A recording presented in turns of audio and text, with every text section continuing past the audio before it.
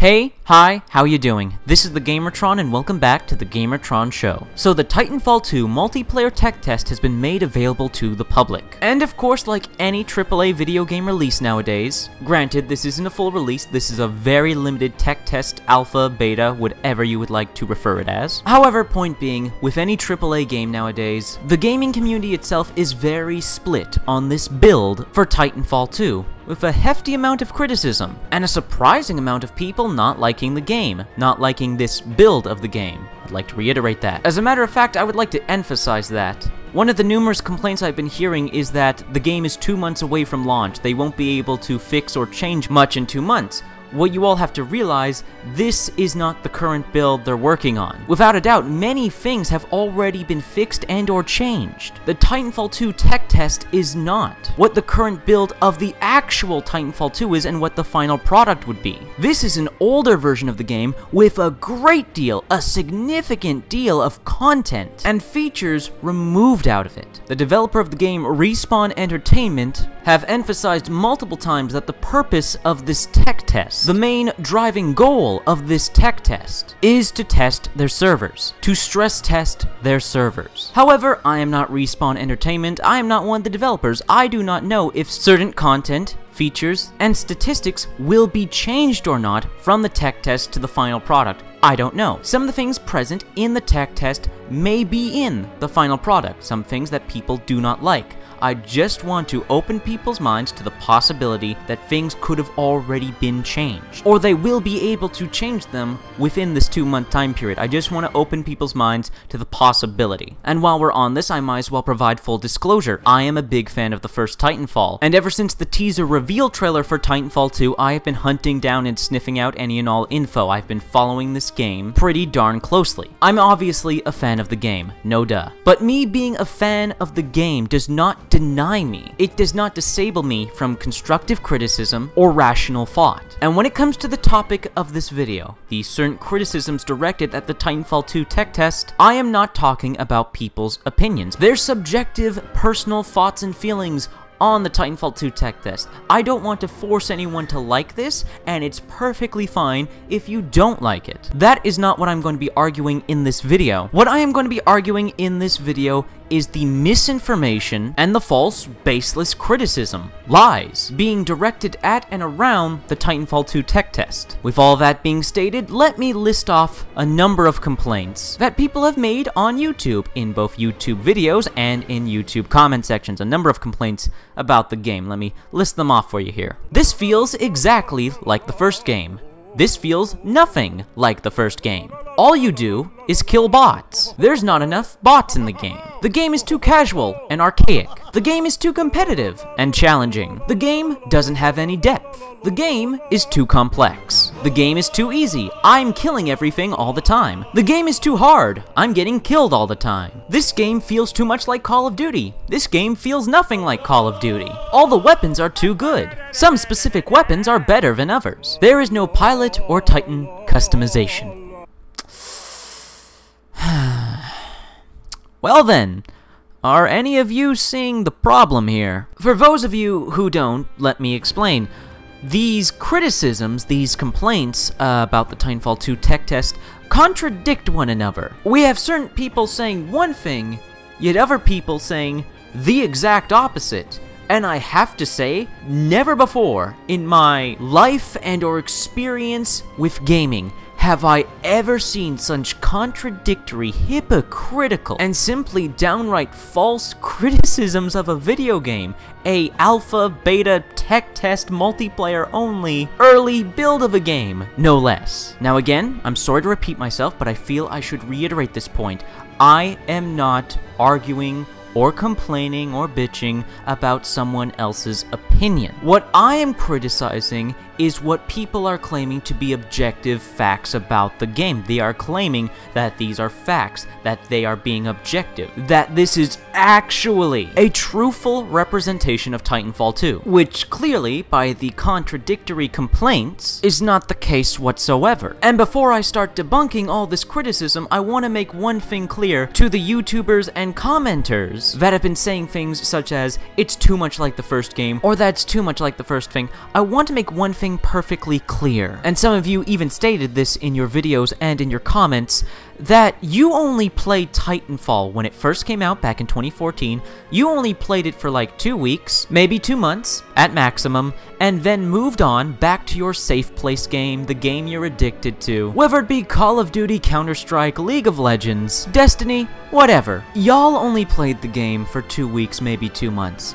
I played the game for over two years. I played through and experienced all the patches, all the free content updates, all the DLC map packs, all the new game modes that were added. As a matter of fact, many of the complaints people had about Titanfall at launched were fixed a few months down the line, such as Titan customization, some form of PvE co-op content, game modes with no AI minions, more game modes, more progression, a deeper progression system, more competitive modes, more depth, more everything. The very first Titanfall addressed and fixed all these complaints people had at launch, but they didn't stick with the game so they weren't around to see them. I played the game for two years. The first Titanfall is one of my favorite first-person shooters of all time. So, I'm sorry, but, um, on principle alone, you don't get to tell me how the first Titanfall played, what was right, what was wrong with it, and how Titanfall 2 compares to Titanfall 1, because you jumped ship after two weeks, after two months. You didn't stick with the game, you didn't learn the game, you didn't come back when your problems were addressed in the first game, and now you're either making the very same complaints that you made in the first game, or you've switched your complaints. Now talking about how great the first Titanfall was when you jumped ship after two weeks and or two months. As someone who loves the first game,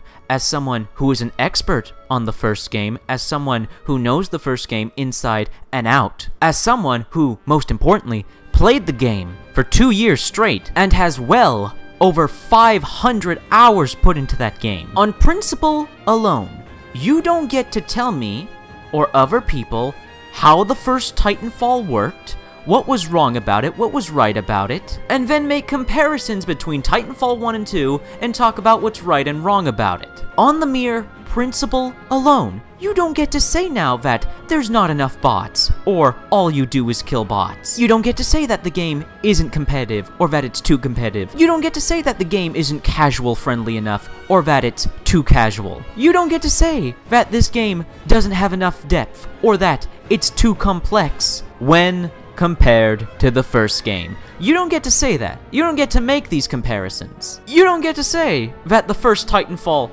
was better than Titanfall 2. One, based off a alpha beta build tech test, and two, because you barely played the first game. However, by all means, if the Titanfall 2 tech test just doesn't tickle your fancy, if you're just not having fun with the game, if you just don't like it, by all means, express that you don't like it. It's just not for you, you're not having fun, I'm not forcing you to like Titanfall 2. But as someone who played the game for two years, and you played the game for two weeks, maybe two months. Don't lie to my face about what was and what wasn't in the first Titanfall, and what is and what isn't in the Titanfall 2 tech test. It's a tad, just a tad bit insulting and disrespectful to call yourself an expert on the first Titanfall when you only played it for two weeks, two months. I think there's just a lack of this thing called credibility criticisms being made about the Titanfall 2 tech test, keep in mind, these are not subjective criticisms, these are objective criticisms people are making. When you make the criticism that the second game feels too much like the first, or that it feels nothing like the first, and you barely played the first, excuse me if I have some trouble believing some of the things you say. I find it even harder to take some of these criticisms seriously when almost all of them can be debunked by just showing actual footage of the game, like what I'm about to do here now. For the game modes Pilot vs. Pilot, a straightforward 8v8 10-minute team deathmatch featuring only pilots abstaining from the appearances of minions and titans, the first team to achieve 100 kills is the victor. The second game mode titled Bounty Hunt is the replacement for attrition, a 5v5 skirmish that has you killing pilots near objectives and minions in waves to earn money. Between a wave ending and the next beginning, banks open around the map where you will then have to deposit the earned cash from the previous wave. Matches have a 15-minute time limit, so whichever team has the most cash by the end of the time is the victor, or by reaching the $6,000 threshold. And finally, Amped Hardpoint, which will not be available until the second weekend, is a slightly different version of Hardpoint domination that we knew in Titanfall 1. There is three objectives to capture and hold in order for your team to score the required 400 tickets for the win. However, However, you can recapture an owned objective, making it amped to achieve extra points. In order to keep it amped, at least one teammate must remain on the objective. Weapon leveling is introduced into Titanfall 2. Mods, aka attachments, are earned through the system by leveling up and achieving credits to spend. There's a slot for an optic and two slots for other mods. There are once again two kits. In kit 1, there's a selection of power cell, faster cooldown for your tactical, fast regen, health regenerates faster, and phase embark, where you quickly teleport to your Titan. In kit 2, kill report, enemy death locations are marked by skulls on the HUD, wall hang, and hover. Four different ordnance choices are given, frag grenade, arc grenade, electric smoke grenade, and the gravity star. And finally for tacticals, there are five available, pulse blade, grapple, holo pilot, stim, and cloak. Onto the Titans. Ion and Scorch are included, while Ronin isn't. And just to remind you, for the most part, the Titans loadouts are not customizable with the exception of three kits. First up, the Titan kit, which consists of the assault chip, granting increased auto Titan lethality, turbo engine, one extra dash, and overcore, your Titan starts with 20% core build time. The second kit is the Titanfall kit, featuring bubble shield, your Titan is protected by a dome shield upon landing, and warp fall, your Titan warps into battle. Then lastly, Titan specific kits. So for Ion is the Ion kit, and Scorch is the Scorch kit. Ion's kit has entangled energy, non-split critical hits restore energy, and vortex amplifier, increased vortex shields damage output. Scorch's kit has wildfire launcher, more fire is spread from the thermite launcher, and inferno shield. Thermal shield lasts longer and deals more damage. To wrap everything up, there is now boosts that seem to be the replacement for burn cards. They are non-class specific, meaning you must choose a dedicated boost before entering a match. There are two to choose from, amped weapons, which supercharges your primary and secondary weapons, and ticks, spider-like drones actively seek out enemies before self-detonation. Finally, there are some call sign patches and banners, and you can choose between two factions, the Apex Predators, You kill me, you're better. I'll kill you, I'm better. or the 6-4. The six four is a family who will kick your ass. Dooming a Titan through Rodeo is now a three-step process. First up, you need to get on top of one. You can do this through good old-fashioned parkour, or by using the new grapple line. When you make it on top for the first time, your pilot will proceed to pull out the battery, exposing a hole through the Titan's armor. Your pilot will then forcibly exit the Titan.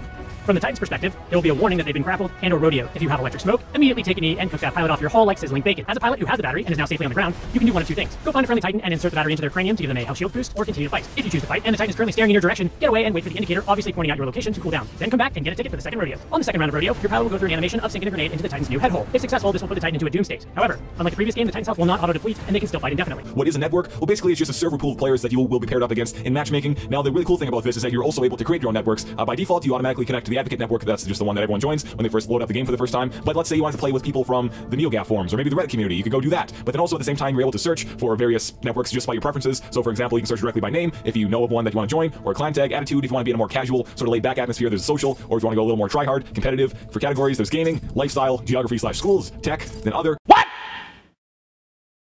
What the fuck? And just like that, with everything that was just shown, most of these criticisms have been debunked. You see, if you're making an objective critique on a video game, I shouldn't be able to debunk your criticism by just showing the actual game. So, with everything I just showed you, you still want to try and convince me that this is exactly like the first game? You still want to try and convince me that all you do is kill bots? You still want to try and convince me that this game has no depth? You still want to try and convince me that this game isn't competitive? You still want to try and convince me that this is exactly like Call of Duty? I mean, come on. Seriously? I, I can't even play the tech test. I'm on PC. It's not available on PC. I can't even play the tech test. Those of you making these complaints say you have played the tech test. Some of you even have gameplay footage of you playing the tech test. A- a- And, and, and yet you're making these complaints, yet all I have to do is look at the game to see that you're wrong. Uh, what? And just let me reiterate, I am not arguing or criticizing people's feelings towards the game if you just didn't like the gameplay. If you just didn't find the gameplay fun, if it just didn't click for you, that's perfectly fine. I don't want anyone to be forced to play a game that they don't like, but just say you don't like it. Don't invent reasons out of thin fucking air to try and justify why you don't like it. Just say you don't like it. Just say it isn't for you. Don't invent and falsify criticisms to justify how you feel. You can just feel the way you feel. You just didn't have fun playing the game. The tech test, this beta alpha build, please keep that in mind. That's perfectly fine. But don't lie to my face and don't lie to other people saying the game doesn't have depth, it lacks depth. Oh, it's too much like the first game, it's nothing like the first game. It's too much like Call of Duty, it's not enough like Call of Duty. Just all these bizarre complaints. If you're going to speak subjectively about the game, talk about your feelings and what you liked and disliked, go ahead. But if you're going to make objective, fact based criticism on the game, then it needs to be factual. There needs to be an element of truth and proof. You need to be able to present me with evidence, and when I look at the game, I should be easily able to identify with what you were talking about. And remember, I haven't even played the tech test. I can't play the tech test. Yet by just watching game footage, just watching, just watching game footage, not even playing the game, I can easily debunk your supposed truthful criticisms and what is actually wrong with the game. No, th those criticisms are not truthful and those are not what is actually wrong with the game because they don't exist. They're not real. You made it up. You can't say that all you do in the game is kill bots, when two out of the free game modes available in the tech test don't have bots. You can't say that the game doesn't have any depth when you have all these tactical abilities, perks, boosts, weapons, weapon attachments, gear, all the different Titan abilities, the new rodeo system, the actual dynamics of how the game modes Bounty Hunt and Amped Hardpoint actually work. You can't tell me it's exactly like the first game when there are all these changes, all these new and different features and content. If you have an argument to make against something, your argument shouldn't be so easily dismantled by just actually showing the thing you're making an argument about. I want to reiterate again that I am not criticizing other people's opinions. I am not criticizing their feelings towards the Titanfall 2 tech test. If you just didn't like it, if it just wasn't fun for you, that's no goddamn problem. I have no problem with that. By all means, play the video games that you enjoy. I encourage that. Don't play something you don't like. But don't come back to me with obvious lies and then call your lies constructive criticism, valid arguments, the truth. Because it's not constructive criticism, they're not valid arguments, and they are far, far from the truth. They are absolute lies. And what you got to understand about lies is that to make a convincing lie, it has to be based in the truth. But these lies that some people are spinning about Titanfall 2 are so far from the truth they're not even on the same planet. And the worst part about some of these criticisms is that some of these YouTubers and some of these commenters are trying to push an agenda. Some of these YouTubers, some of these commenters only play Call of Duty and or Battlefield. Titanfall 2 subconsciously is a threat to them. Because some people are going to buy Titanfall 2 alongside or over Battlefield 1 or Call of Duty Infinite Warfare, and that threatens their player base. That threatens their arguments they can make about the statistics of sales numbers, of amounts of people playing. Some of these YouTubers, some of these commenters have a personal agenda. They're the equivalent to console fanboys that lie and fight over what video games they play on the console that they associate themselves with, and that's what's going on with Battlefield, Call of Duty, and Halo players. Titanfall 2 is a threat. It's a relatively new IP, a relatively new franchise that has the potential to overthrow or become equals with those games. Now, some of you in the comment sections are going to call me a paranoid conspiracy nut, but if you actually look at the YouTube channels of these YouTubers, of these people leaving comments in the comment section, if you actually look at their channels, a majority percentage of their videos are based on a single game, whether it be Call of Duty, Battlefield, Halo, etc. Or they're subscribed to a bunch of YouTube channels that are mainly channels about this one game. Look, I'm not naming names here, I'm not trying to start a conspiracy theory, I'm not saying that this is a video game war, this is not a fanboy war. What I'm saying is don't take everyone's word as gospel. That includes my own. Don't just agree with your favorite YouTubers or your favorite commenters, that sort of thing. Don't just mindlessly agree. Criticize, ask questions, because you know what? I'm pretty sure a lot of these YouTubers, a lot of these people in the comment section are unintentionally lying. They don't mean to lie, they just don't have a proper way to verbalize their thoughts and feelings. It happens all the time. I do it too, which is why I want people giving me constructive criticism, which is why I want people saying to me, hey, I disagree with you in that and that, and oh, Gamertron, you made a mistake about this, that's actually not true. Just because your favorite YouTuber said that they didn't like something doesn't mean you should now all of a sudden don't like it, and vice versa. So please, instead of jumping on the hate bandwagon for the Titanfall 2 tech test, don't just mindlessly agree with what another YouTuber says, with what someone says in the comment section, myself included. Play it for yourself, do your own research, or just wait for the full game to come out. Wait for reviews, and even when the reviews come out, question that. Everyone is biased. I am biased. you are biased. However, it's up to you to decide and determine whether that bias is rational or irrational. And finally, I would like to reiterate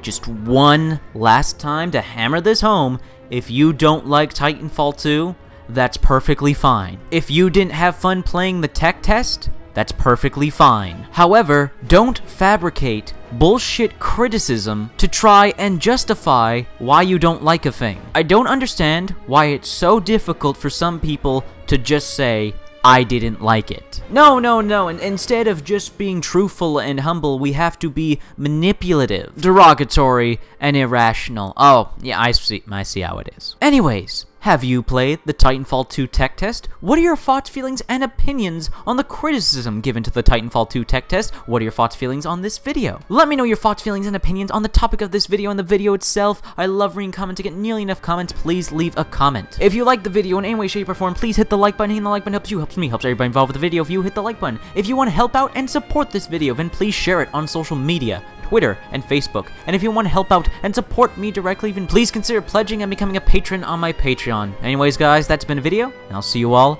later.